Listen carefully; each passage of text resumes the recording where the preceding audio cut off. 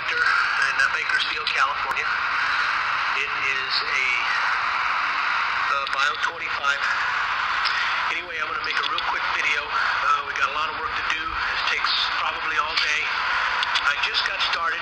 What I did was I shut down the uh, bioreactor completely, all except a few pumps, our rainwater pump, transfer pump, to uh, get most of the water out of the unit. What I did was I steam cleaned the top portion of uh, the reactor, and what you see left there is the second layer of the uh, grids where the bugs actually live. This is quite a mess. This is a little over a year. Uh, probably should have done this sooner, but the uh, customer felt that uh, now was a good time.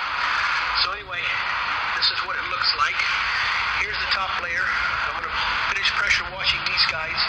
What we normally do, typically do, is that we'll pressure wash these while they are in the reactor, get most of the mud out to uh, make it easy to pull out. If not, they're going to be awfully heavy. Uh, really, this is a two-man job. In this particular job, we only have one, uh, only because when you have the best, there's no reason for two, right?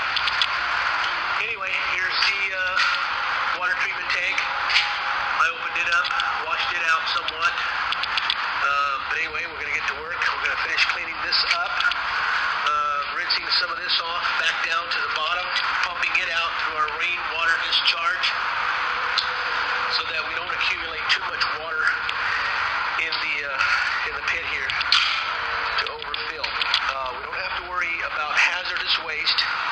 Uh, there's no smell, absolutely no smell. Actually, they smell nice, clean, and fresh, believe it or not. Uh, as you notice here, the dirt is actually brown. It's not black.